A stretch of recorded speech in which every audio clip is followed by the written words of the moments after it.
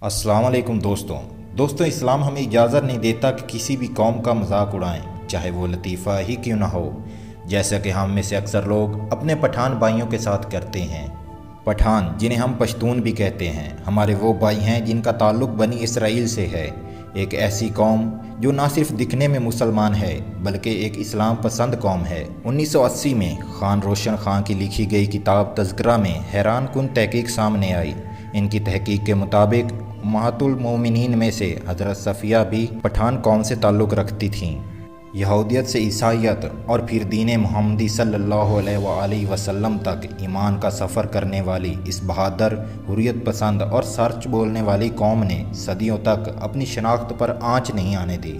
اس جدید اور فتنوں سے بڑے دور میں دنیا بھر میں جہاں بھی پٹھان ہوں گے، مسلمان ہی ہوں گے۔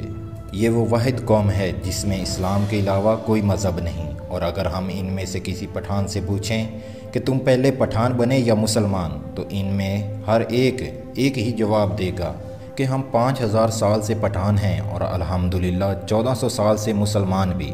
تاریخ سے یہ بھی پتہ چلتا ہے کہ آپ صلی اللہ علیہ وآلہ وسلم کے زمانے میں ایک قریش سردار خالد بن ولید رضی اللہ عنہ، ان لوگوں کے پاس حضور اکرم صلی اللہ علیہ وآلہ وسلم کے آنے کی خبر لے کر آئے اور اس خبر کی تحقیق کے لیے کیس نامی شخص اپنے چند سرداروں کے ساتھ مکہ روانہ ہو گیا۔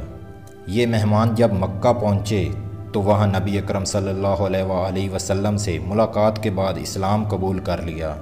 جبکہ فتح مکہ کی مہم جوہی میں بھی آپ صلی اللہ علیہ وآلہ وسلم کے بھرپور ساتھی رہے، ان سرداروں کو واپسی پر حضور اکرم صلی اللہ علیہ وآلہ وسلم نے تحفے بھی دیے اور اس وفود کے امیر کیس کا اسلامی نام عبد الرشید رکھ دیا، جبکہ اسے بوتان یا بوتان کا لقب بھی عطا کیا اور پھر یہی لفظ آگے چل کر پٹھان بن گیا۔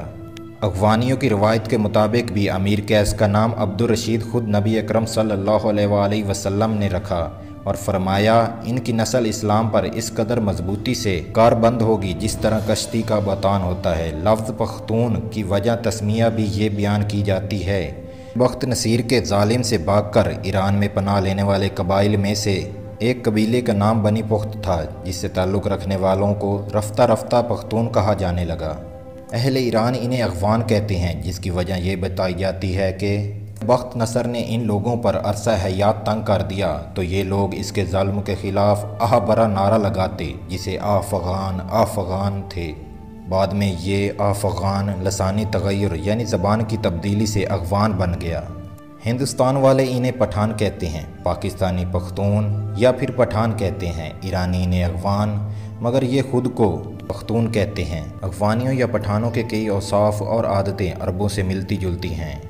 پٹھان عرب لوگوں کی طرح مہمان نواز، بہادر، اہل قلم ہونے کے ساتھ ساتھ دوسری قوموں سے اتنی جلدی ڈرنے والے بھی نہیں ہوتے۔ حیرت کی بات تو یہ ہے کہ یہ چند خصوصیات اغوان یا پٹھان قوم میں بھی اسی شدت کے ساتھ پائی جاتی ہیں جیسا کہ عربوں میں ہیں۔ پٹھان قوم نسلی اور جسمانی طور پر اپنے آپ کو دنیا کی مضبوط ترین قوموں میں شمار کرتی ہے۔ قوم عام طور پر مذہبی اعتبار سے پابند ہے۔ اکثر مرد سر پہ ٹوپی رکھتے ہیں اور ان کی عورتیں ساری ساری عمر پردے کا پابندی سے اہتمام کرتی ہیں۔ یہ لوگ انتہائی مہمان نواز اور دوستی میں جان دینے والے شمار کیے جاتے ہیں۔ دوستو، اس ویڈیو میں ہم نے آپ کو پٹھان بھائیوں میں پائی جانے والی چند خصوصیات کے بارے میں بتایا۔ امید ہے کہ آپ کو یہ ویڈیو پسند آئی ہوگی۔ اگر آپ کو یہ ویڈیو پسند آئی ہے تو ویڈیو کو لائک کیجیے، شیئر کیجیے اور ہمارے چینل پاک انفو ٹی وی کو سبسکرائب کیجیے۔ اس کے ساتھ ہی محسن ریاض کو اجازت دیجیے پھر ملاقات ہوگی ایک نئی ویڈیو کے ساتھ۔ اللہ حافظ۔